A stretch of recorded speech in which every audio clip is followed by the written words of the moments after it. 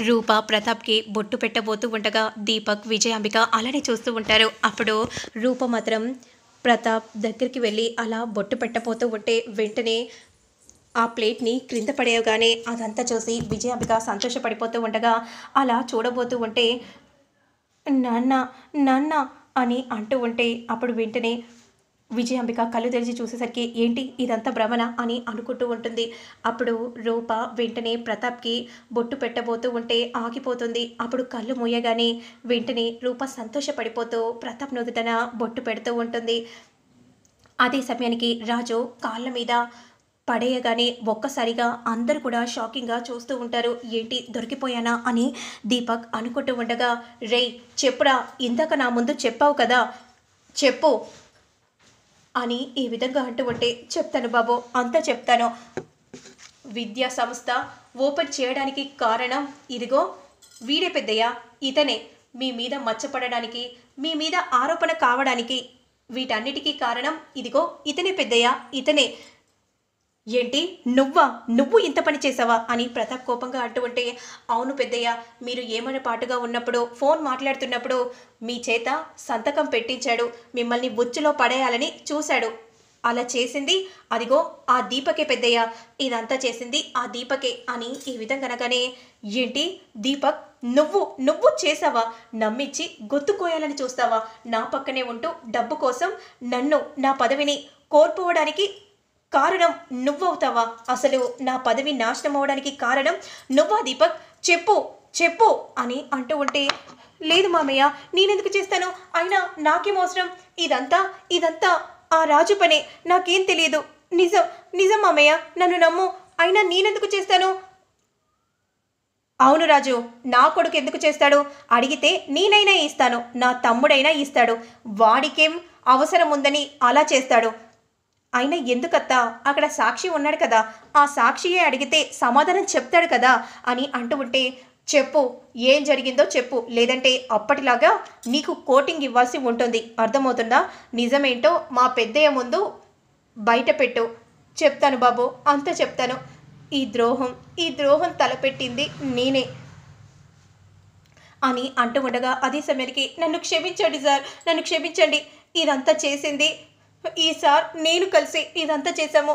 ఏమరపాటుగా ఉన్నప్పుడు సంతకం పెట్టించింది నేనే సార్ అని ఏంటో అలా పడేవేయగానే దీపక్ విజయాంబిక వైపు చూస్తూ ఉంటే ఇదంతా నా ప్లానేరా అని అంటూ నవ్వుకుంటూ ఉంటే ఏంట్రా నువ్వా? నువ్వు కొత్తగా వచ్చావు.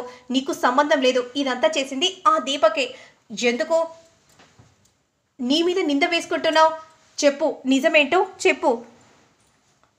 అప్పుడు దీపక్ సైగ చేయగానే నేను చెప్తాను బాబు మేనేజర్తో నేను కలిసి కాలేజ్ ఎలాగైనా ఓపెన్ చేయించడం కోసం తనకు డబ్బులు ఇచ్చి పర్మిషన్ ఇప్పించేలా చేశాను అని అంటూ ఉంటే ఏంటి?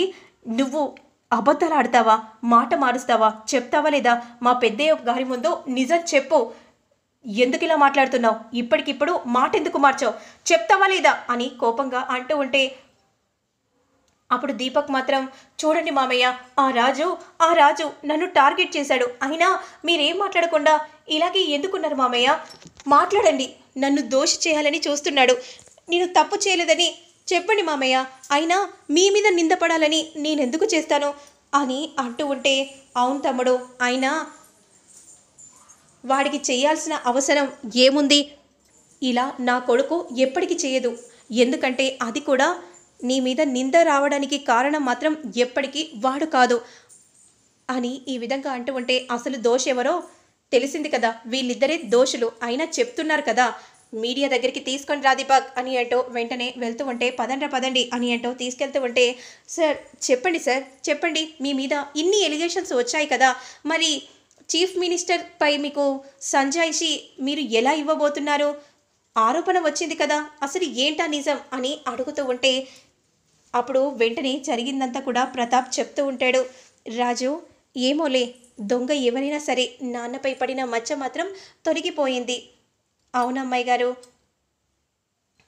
కానీ ఇలాగే ఊరుకుంటే ఇంకొక ప్రాబ్లం కూడా వస్తుంది కదా అని అంటూ ఉంటే ఇక ఎవరో తెలిసింది కదా ఇక వెళ్ళండి అని అనగానే అక్కడ నుండి వెళ్తూ ఉంటే చాలా థ్యాంక్స్ అందరికీ కూడా అని అంటూ అవును పెద్దనాన్న థ్యాంక్స్ అందరికీ చెప్పారు. మరి కాపాడిన రాజుకు మీరు థ్యాంక్స్ చెప్పరా? చెప్పండి పెద్దనా పెద్దనాన్న అని పింకీ అనగానే అప్పుడు వెంటనే థ్యాంక్స్ అని అంటూ లోపలికి ప్రతాప్ వెళ్తూ ఉంటే ఆ మాట విని రాజు చాలా సంతోషపడిపోతూ ఉంటాడు.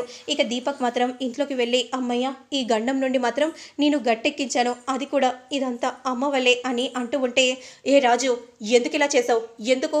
పెద్దయ్య గారి పరువును పోగొట్టాలని చూసావు పదవి పోవాలని ఎందుకు చేశావు? పెద్దయ్య గారిపై మచ్చ ఎందుకు తీసుకుని రావాలని చూసావు ఏంటి? నేను చేయలేదని తెలిసింది కదా? నన్నని నిందిస్తున్నావేంటి? అయినా ఏంటి? ఆ పొగరేంటి? నా గల్లనే పట్టుకుంటావా? అవును పట్టుకుంటాను. వద్దు రాజు. ఇలాగే వదిలేస్తే ఇంకో ప్రాబ్లం కూడా క్రియేట్ చేస్తాడు అమ్మాయి గారు. ఎందుకు వదలాలి? వదలకూడదు అమ్మాయి గారు. పెద్దయ్య గారికి ఎలాంటి ప్రమాదం వ- వస్తే మాత్రం నేను ఊరుకోను అని ఈ విధంగా అంటూ వెంటనే దీప దీపక్ని కొట్టబోతూ ఉండగా రాజు అని గట్టిగా విజయాంబిక అనగానే వెంటనే రాజు వెనుతిరిగి చూస్తూ ఉంటాడు. నా కొడుకు గల్లెనే పట్టుకుంటావా? నీ స్థాయి ఏంటి ఈ ఇంటి అల్లుడైపోయినంత మాత్రాన? ఇదేనా? నీ పద్ధతి? నా కొడుకు తప్పు చేయలేదని అసలు నిందితులెవరో తెలిసింది కదా? విజయాంబిక గారు ఎవరిలా చేశారో ఎందుకు ఇలా చేశారో నాకంతా తెలుసు. కానీ మీ పుత్రరత్నం ఏం చేశాడో నాకు తెలుసు. ఏంటి రాజు? హో అప్పుడే అల్లుడి హోదా వచ్చిందని ఇలా మాట్లాడుతున్నావా? నా కొడుకు తప్పు చేయలేదని తెలిసింది. నువ్వు ఇంకోసారి ఇలా మాట్లాడితే ఊరుకోను. రాజు అయిన గొడవలు అవసరమా? పద అని అంటూ వెంటనే అక్కడి నుండి వెళ్ళిపోతూ ఉంటే అమ్మ ఈ గండం నుండి మాత్రం నువ్వే గట్టెక్కించావు వాడికి ఎలోగలా మేనేజ్ చేయించావు. ఇదంతా నేనే చేశానురా. డబ్బులు ఇస్తే వాడలా మాట్లాడాడు. లేకుంటే వాడెందుకు అలా మాట్లాడతాడు? డబ్బుకి లొంగిపోయాడు వాడు అని విజయాంబిక అంటూ ఉంటే ఏదో ఒకటి చేసైతే నువ్వు మాత్రం ప్లాన్ని పక్కగా అమలు చేశావు. లేదంటే ఈరోజు ఈ ఇంట్లో నేను ఉండేవాడిని కాదేమో. నేనుండగా అలా జరగనివ్వను. ఇక ఆ రూపరాజులను విడగొట్టాలి. ఎలాగైనా విడగొడతాను అని విజయాంబిక అంటూ ఉంటుంది. ఇక మరోవైపు ముత్యాలు త్వరగా రావే. ఆ వస్తున్నానయ్యా. ఏంటి ముత్యాలు? ఇంతసేపు రెడీ అవ్వాలా? అవునండి మేము యాక్టివ్గా ఉంటేనే కదా. అందరు కూడా వాళ్ళ భార్య సంతోషంగా ఉంది. చకచకా పనులు చేసుకుంటుందని అందరూ నన్ను కాదు మిమ్మల్నే అంటారు. సరే సరే. ధనాలు వరాలు ఇల్లును చూసుకోండి. మేము వెళ్ళొస్తాము. ఒక్క నిమిషం నాన్న అని ధనాలు అనగానే ఏంటి ధనాలు? ఇప్పుడు మీరు అక్కడికి వెళ్ళడం అవసరమా నాన్న? చెప్పండి. ఎందుకమ్మా అలా అంటున్నావు? పిలిచినప్పుడు పోవాలి కదా పోగరని అనుకుంటారు. కాబట్టి పోవాలి. అది కాదు నాన్న వాళ్ళు అవమానిస్తారు. మీరు సైలెంట్గా చూస్తూ ఉంటారు. అవసరమా నాన్న? వెళ్ళి అలా అని ఇంటికి వచ్చి చెప్పినప్పుడు వెళ్ళకుండా ఉంటే ఎలా ఉంటుంది? అది పద్ధతేనా? పద్ధతి అంటారా? కాబట్టి నువ్వు మాత్రం వరాలని కాస్త జాగ్రత్తగా చూడు. ఏం చేస్తుందో ఒకసారి తెలుసు కదా? నేను చూసుకుంటాను లే అమ్మా అని అనగానే అక్కడ నుండి వెళ్తూ ఉంటే ఆగండి ఆగండి నేను కూడా వస్తున్నాను. ఏంటి? నువ్వా? అవును. విజయాంబిక గారు నాకు కూడా చెప్పారు కదా. హా పెద్దోళ్ళు పెద్దోళ్ళు చెప్పుకుంటారులే. సరే మామయ్య పదండ్రి అని అంటూ వెళ్తూ ఉంటే ఆ ఇద్దరి అవమాన పాలు చూడడానికి ఆ ఫంక్షన్కి వస్తున్నాను మామయ్య అని అంటూ ఇక వెంటనే రేణుక వెళ్తూ ఉంటుంది. ఇక కట్ చేస్తే నెక్స్ట్ సీన్లో మాత్రం ఇదిగో ఇక్కడ డెకరేషన్ పెట్టించండి. రాజు అన్ని ఏర్పాట్లు అయిపోతున్నాయా? చిన్నయ్య అయిపోతున్నాయి అని అంటూ ఉండగా అప్పుడు వెంటనే విజయాంబిక దీపక్ ఇద్దరు వస్తారు. ఇది చూడడానికేనా మమ్మీ? ఇక్కడ మనం ఉంది. ఎరా కాస్త ఓపిక పట్రా. ఏం చేయాలో నాకు బాగా తెలుసు అని విజయాంబిక అంటూ ఉండగా అదే సమయానికి ప్రతాప్ నడుచుకుంటూ వస్తూ ఉంటాడు. అప్పుడు రూప అలా నడుచుకుంటూ వెళ్తూ ఉంటే ప్రతాప్ అలానే దీర్ఘంగా చూస్తూ ఉంటాడు. అక్క అని అనగానే ఏమైంది తమ్ముడు? ఏం జరిగింది? బయట నలుగురు వస్తారు. ఇలా ఇలా ఉంటే ఏమనుకుంటారు? కనీసం నగలు లేవా అని అనుకుంటారు అని అంటూ ఉంటే అలానే చూస్తూ ఉంటుంది రూప. ఉన్నాయి కదా. ఆ నగలు వేసుకొని తిరగొచ్చు కదా. చూసే వాళ్ళ ముందు మన ఇంటి పరువు తీయాలని చూస్తుందా? నీ కోడలు? ఏమైందమ్మా రూప? నీ నగలు ఉన్నాయి కదా. ఆ నగలు వేసుకోవచ్చు కదా. ఆయన చిన్న ఎంప్లాయీ ఎంప్లాయీకి తగ్గట్టు నేను కూడా ఉండాలి కదా. అందుకే ఆయనకు తగ్గట్టు నేను కూడా ఇలా రెడీ అయ్యాను. అప్పుడే ఆ ఇంటి కోడలైపోయింది. అప్పలనాయుడు కోడలైపోయింది కదా. అందుకే ఆ బుద్ధులు వచ్చాయి. అదిగో వాడిని చేసుకుంటే ఇలాగే ఉంటుంది. దీని పరిస్థితి. కానీ ఇలా ఉంటే మాత్రం కుదరదు.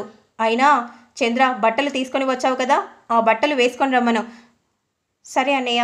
వెళ్ళు రాజు. రూమ్లో ఉన్నాయి. వెళ్ళి కట్టుకుని రండి అని అనగానే వెంటనే రూపారాజు వెళ్తూ ఉంటారు. అన్నయ్య పద గెస్ట్లు వస్తున్నారు అని అంటూ వెళ్తూ ఆ గెస్ట్లని వెల్కమ్ చెప్తూ ఉంటే అప్పలనాయుడు ముత్యాలు ఇద్దరు వస్తారు. దండలయ్య అని అనగానే మౌనంగా ఉంటారు.